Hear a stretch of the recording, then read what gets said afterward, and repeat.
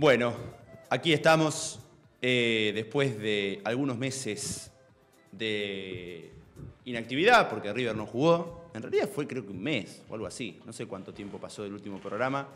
Vuelve el más grande, esta vez con estética renovada, esta vez con los amigos de Cru TV, eh, arrancando un nuevo año, una nueva temporada, una nueva Copa de la Liga, que como rezó algún, algún periodista, eh, bueno, no está tan buena, ¿no? Por decirlo en, términos diplomáticos. Para no arrancar tan arriba, ¿no? Con, las groserías. Eh, la Copa de la Liga, bueno, no, no, es un, no es un torneo que despierte tanto entusiasmo en su arranque. Eh, por lo menos uno como hincha de River, ¿no? Uno como hincha de River quiere jugar a la Libertadores. Si fuera por uno, la Libertadores arrancaría en enero. por suerte no, por suerte no, porque River lo que notamos es que tenés que esperar una semana de que, a una semana de que termine el mercado de pases, que se termine de conformar el plantel. Y bueno, justamente esto del preolímpico también lo perjudicó bastante. Eh, un River que jugó mal ayer. La verdad es que River jugó mal. Eh, el primer tiempo estuvo un poco más firme, pero el segundo tiempo ya directamente un equipo perdido. Directamente no sabían qué hacer. O sea, no, no había una idea de juego para lo que restaba del partido. Era simplemente aguantar. Aguantar, quedarse en la cancha, responder a los ataques argentinos. Bueno. Em, pero además, lo que vimos bueno en el primer tiempo de River no fue una locura. No, no fue, vos decís, uh, mirá, en la pretemporada se ve que laburaron. Eh, la verdad que no. Fue un partido muy flojo de River, muy flojo. Eh, aparte aburrido. No, no, y el primer tiempo además fue mejor que el segundo. Pero aún así fue un festival de pases cerrado. La cantidad de pases que erró River ayer en el primer tiempo. En el segundo también, pero el segundo tuvo menos la pelota, con lo cual. Eh, saludo para Licha, ¿eh? Con lo cual, eh, no. Mm, a ver. No se sintió tanto la imprecisión. Que yo creo que fue lo clave, ¿no? La imprecisión de, los jugadores, pases muy fáciles cerraban. Cerraban pases muy fáciles, realmente.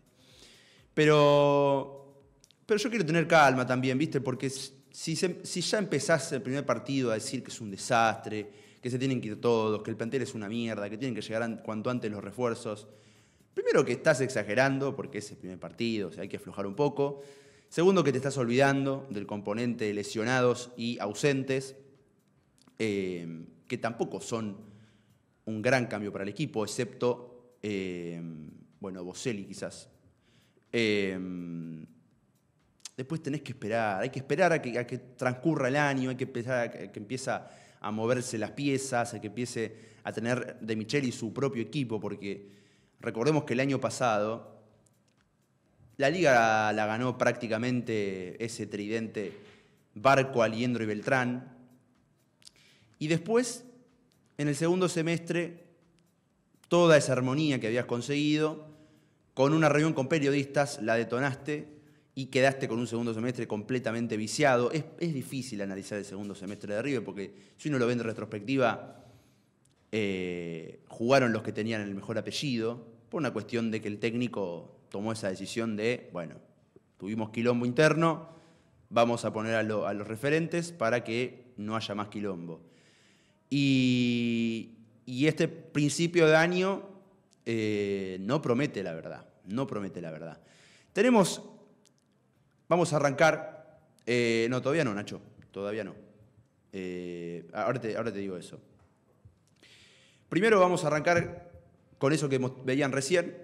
Eh, el punto número uno, si lo puedes poner Nacho. River jugó apurado en esta sección que inauguramos acá en el bloque de River del más grande. River jugó apurado y creo que eso fue la clave para entender por qué, por qué tantas imprecisiones, por qué tanta, tanta exasperación, tanta desesperación generaba el juego de River. Eh, River estaba queriendo llegar al arco eh, como si fuera cuestión de tirar la pelota para adelante. Y la verdad que no funciona así, no funciona así. Y además quiso hacer esto en un campo de juego seis puntos. Yo tuve, la posibilidad del jueves eh, recorrer el estadio y estuve al pie del campo de juego y estaba en una condición no tan buena. No era la mejor condición en la que estaba el campo de juego en el Monumental. Entonces River intentó hacer un juego de mucha aceleración, de mucho verticalismo, mucho pase para adelante, lo cual te da que Nacho Fernández pueda meter ese pase a Borja, ¿no? Alguna, digamos, a veces está bueno tener ese tipo de juego. Pero si vos tenés un campo de juego de seis puntos, si es el primer partido de la temporada, después de una pretemporada fatídica en la que no te salió nada bien, tenés que apostar a otro tipo de juego, un poco más de pausa, parar la pelota y pausar.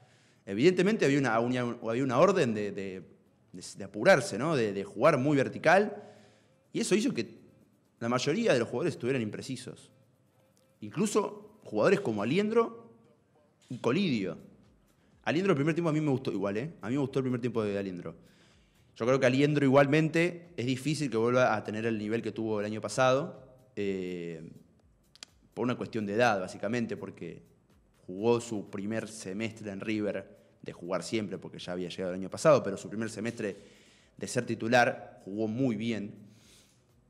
Eh, dudo que vuelva a, ese nivel, a llegar a ese nivel, porque aparte fue muy alto. Pero yo creo que tiene que ser titular. Su primer tiempo me gustó. En el segundo tiempo cambió de posición y empezó a ahorrar pases a lo loco. Y además, bueno, está teniendo una fragilidad para, disputar la pelota que sorprende, ¿no? Porque el año pasado lo veíamos que era muy difícil sacarle la pelota a Liendro. O si al Liendro te alcanzaba en el mano a mano, superarlo. Y ayer en el gol de Argentinos hubo, hubo una jugada en la cual lo superan a Liendro fácilmente. Eh, y eso, bueno, para mí tiene que ver con la. por cómo jugó River. Colidio lo mismo, ¿eh? Colidio lo mismo. Esto que decimos, River jugó apurado. Colidio controló muy mal muchas pelotas. Controles que vos decís, pero este es Colidio. Realmente es Colidio. Y el. Este. Y la cantidad de pases que erró Colidio ayer, o sea, una cosa que no se entiende. Mucha gente decía, eh, pero nunca jugó mal. Eh, perdón, nunca jugó bien a Colidio. No jugó bien ningún partido en River. No, yo no coincido. Yo no coincido y además el año pasado jugó creo que 4 cinco, cuatro, o cinco partidos de titular. Entonces, bueno, yo no digo que no, se lo puede evaluar, pero eh, no, sería tan tajante con Colidio específicamente. Eh, ahí está, los dos con Central y con Belgrano. Coincido, jugó bien esos dos partidos, pero fueron los únicos partidos que jugó titular, además de Vélez, el, 0-2, el peor partido de la era de Michelis, eh, y después otro más, que no me, ahora no me acuerdo. Pero no jugó tanto de titular. Después jugó muchos partidos que entraba poco tiempo y es difícil, es difícil cuando jugás tan poco. No tenía eh, rodaje, Colidio. Y es cierto, sus primeros partidos fueron decepcionantes, pero tampoco, no sé, me parece que es injusto pegarle por no haber jugado bien en... Eh, en partidos en los que entraba poco, en una racha en la que entraba poco. Ayer jugó muy mal, muy mal, muy, muy mal. Un desastre. Ayer fue un desastre. Colidio, lo voy a decir, no, tengo problema. Así como digo que Aliendro jugó muy mal. Son jugadores que a mí me gustan, que me parecen de los mejores de River, junto con Barco, que ayer fue el mejor de la cancha, claramente, para mí. Em, entonces, eh, lo digo igual, no, no, no, no, me voy a esconder, no, voy a hacerme el boludo. Eh, Creo que esto también perjudicó a Fonseca. Esto también perjudicó a Fonseca porque eh, vos, tu primer partido, ves un equipo que solo juega verticalmente y vos no podés jugar si no tenés un, compañero adelante, bueno, vas a hacer muchos pases para los costados, muchos pases para atrás.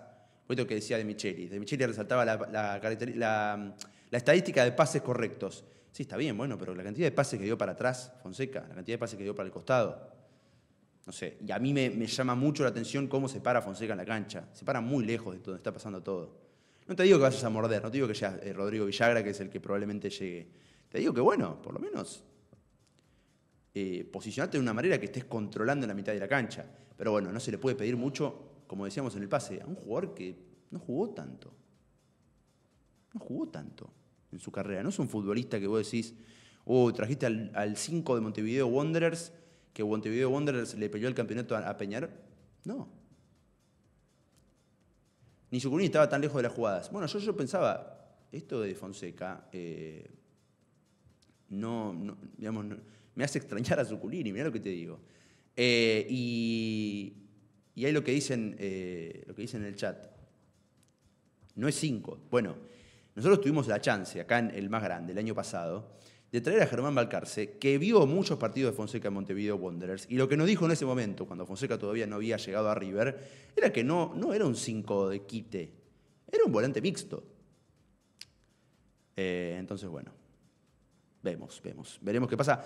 Yo la verdad me llama mucho la atención que vayan a buscar a Villagra, porque yendo a buscar a Villagra estás dando el mensaje de que notas que Fonseca no está a la altura por lo menos físicamente, porque yo creo que él se resguarda mucho y se aleja mucho de la jugada por una cuestión física, porque si sale a cortar queda muy expuesto. Eh, pero bueno. a ver, seguimos con la libreta, vamos al punto 2, que creo que también fue clave para lo que, lo que fue el partido de ayer.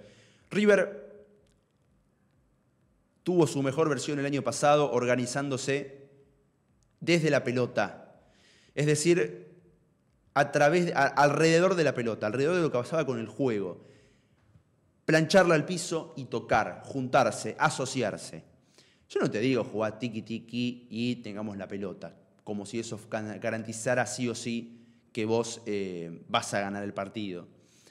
Yo lo que te digo es, el año pasado en la liga River tenía un estilo marcado con el ecosistema Aliendro Barco Beltrán, que era eh, lo que hacía que todo rindiera. Y ahí explotaban todos, explotaba De la Cruz, Nacho tenía algunos destellos, Enzo se sentía bastante seguro, eh, y Aliendro Barco Beltrán eran los mejores de River. Em, en el segundo semestre, bueno, se desvirtuó por lo que decíamos recién, el problema de, de Love, de, de Michelis con periodistas, eh, que eso hizo que empezaron a jugar todos los referentes, y a partir de ahí River, desde ese momento, empezó a organizarse desde los espacios de la cancha y no desde la pelota. Que eso creo que podríamos marcar como un punto de quiebre la vuelta con Inter. Desde ese momento hasta acá, creo que River se organiza a partir de la simetría, de tener un jugador abierto por derecha, otro abierto por izquierda, como pasó cuando entró Mastantuono. ¿no? Cuando entró Mastantuono, Nacho Fernández pasó al medio, Barco pasó abierto por izquierda y Mastantuono estaba encerrado en la raya por la derecha. Eso hizo que eh, se pusiera a la derecha de Fonseca, estuvieran los dos más o menos a la misma altura y el equipo se partió. O sea, River jugó sin mediocampo el segundo tiempo, prácticamente. Era como si no hubiera eh, mediocampistas.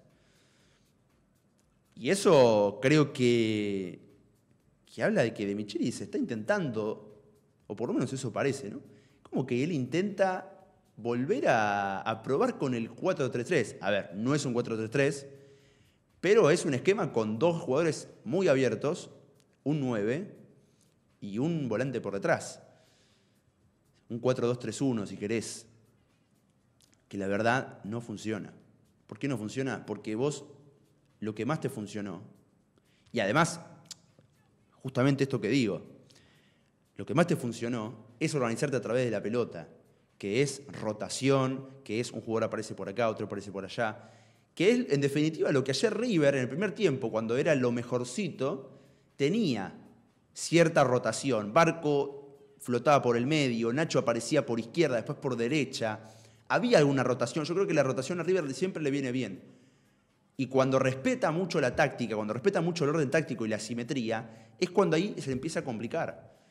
Este, entonces, eh, eso pasó, me parece, en el segundo tiempo. Segundo tiempo, Barco por izquierda, Mastantuono por derecha, Nacho en el medio, Aliendro por acá, Fonseca por acá. Todo muy rígido. Todos los jugadores en su posición, en su posición que les tocaba. No había rotación, no había circulación de la pelota. River organizado de los espacios. Para mí, un error con este plantel. Con este plantel tenés que organizarte a través de la pelota, porque tu mejor jugador hoy por hoy es Barco. Y Barco no es un jugador que desequilibre con una gambeta, que te invente un gol de la nada, que te invente un. que te saque un rival de encima y quede mano a mano para tirar el centro y que aparezca Borja por adentro. Barco es el mejor porque es el que es, funciona como una máquina de coser, Barco. Eh, es un jugador que va tejiendo, va eh, tocando con sus compañeros, buscando por dónde entrar y armando eh, una jugada para poder llegar al gol con una, jugada elaborada, ¿no? Pero bueno, es difícil si Barco es el único que teje esas jugadas. Es difícil si es el único que de alguna manera tiene cierto sentido de que la jugada progrese.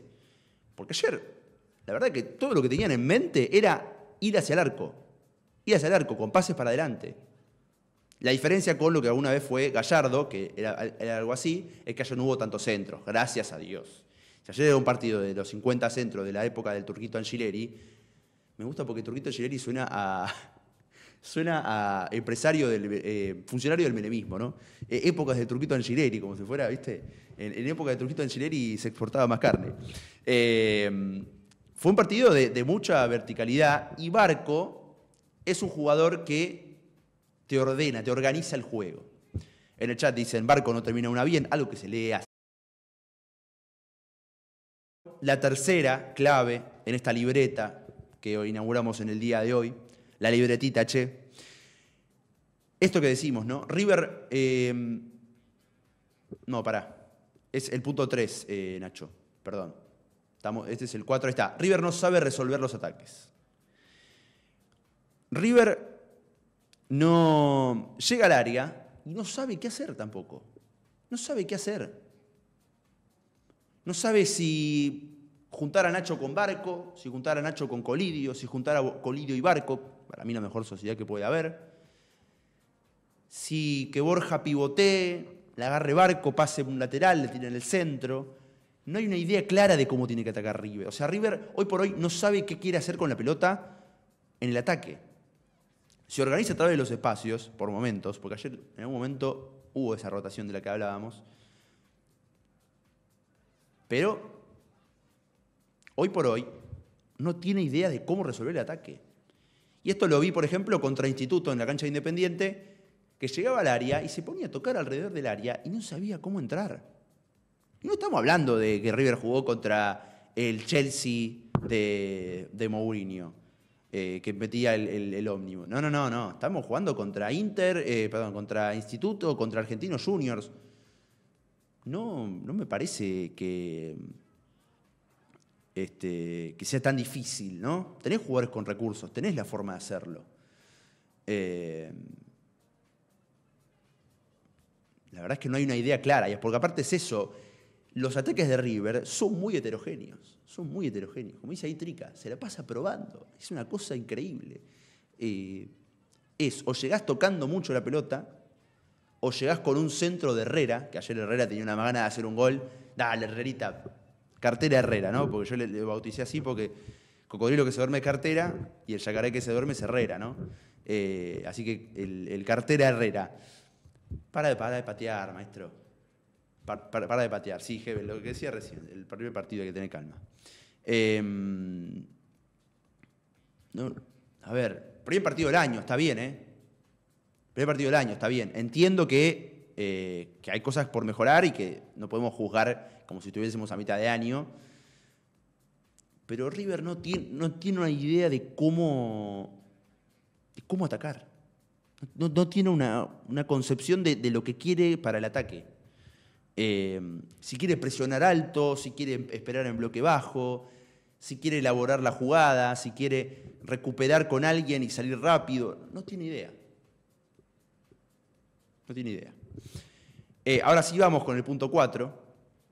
Y es que lo que decíamos recién, ¿no? Arriba le falta profundidad. Además de esto que no sabe, tampoco genera situaciones. Es un problema crónico de River, porque le, le pasó ayer, pero le viene pasando hace rato. Hace rato me refiero a cuando se fue Lucas Beltrán. Desde que se fue Beltrán, River perdió muchísima profundidad. ¿Por qué? Porque hoy por hoy Borja, es cierto, Borja en el área es letal.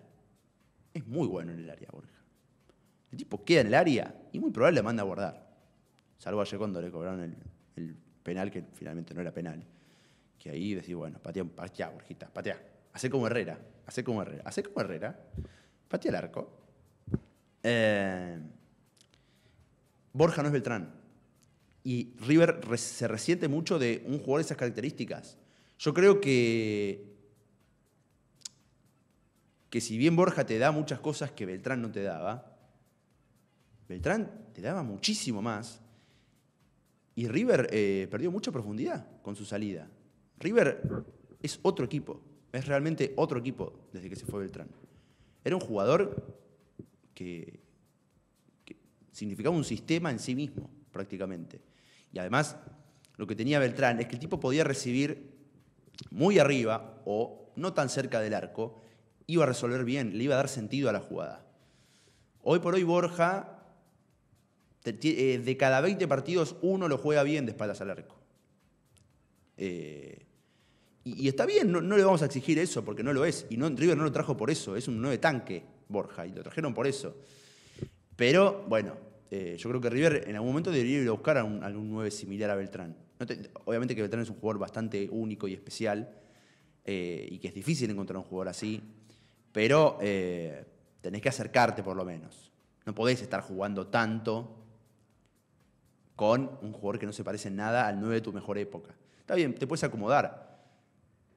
Pero bueno, si, si vos esperás que organizándote así, a, través del el espacio en la cancha y no a través de la pelota, y la verdad que este, es muy difícil. La verdad que es muy difícil. Y por último, la última cuestión que tenía anotada por ahí, el último apunte, es que los cambios de Michelis, un tema que ya hemos abordado de tantas otras veces, hemos eh, tocado tanto, lo, tratamos demasiado, los cambios de Michelis. Los cambios de Michelis ayer, lo que decíamos recién, desarmaron al equipo porque justamente en este afán de organizarse a través de la táctica y no de, mm, y no de la pelota, se partió el equipo. Se partió el equipo cuando necesitaba reforzarse. Necesitaba reforzar el medio. Lo que hizo es romperlo. Yo no estoy diciendo que, ahí me dicen, ¿qué quería que pusiera? No, no, claramente. O sea, eran todos juveniles. Eran todos juveniles. Eran todos juveniles. Yo no estoy diciendo por los que entraron. Al contrario, a mí Mastantuono me encanta, lo aplaudí mucho y fue su debut. Eh, yo lo que digo no es el cambio por los nombres, es el cambio por la forma en que organizó eh, la mitad de la cancha, lo que decíamos recién. Puso a Liendro y Fonseca a la misma altura, puso a Nacho adelante de ellos dos, lo abrió a Barco cuando lo mejor de Barco se vio cuando jugaba por el, por el centro, y lo puso a Mastantuono encerrado sobre la derecha. Cuando el ingreso de Mastantuono, vos decís, bueno, es un pibe talentoso, te va a generar algún eh, mano a mano en el cual saque ventaja y a partir de ahí un desmarque de Borja en el área, ¿no? Este, pero no, jugó abierto por, por derecha. Que eso ya es algo que hacía Gallardo también y que De Michelis lo ha hecho alguna que otra vez con Colidio y con Solari, ¿no? Aunque bueno, Solari es otra característica. Eh, meterlo pegado a la raya. Mastantuono es buenísimo, es un jugador que puede gambetear. Si lo pones contra la raya, quizás supere a su rival. Pero si vos lo pones tan lejos del, medio de la cancha, lo pones tan cerca de, la raya, del lateral, con esa gambeta, con ese rival que se saca de encima, todavía le queda un montón de campo por recorrer. Y es su primer partido, y no es un jugador tampoco tan rápido. Entonces, me parece que hay un error grave.